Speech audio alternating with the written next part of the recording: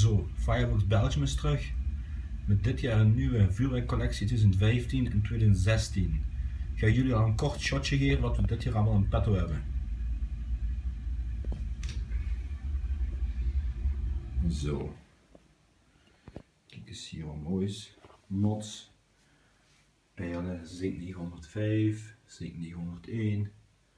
Single shotjes. Kartons vol.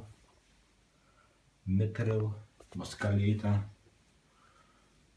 Cube of Stars, Mjolnir 2.0, lawine pijltjes,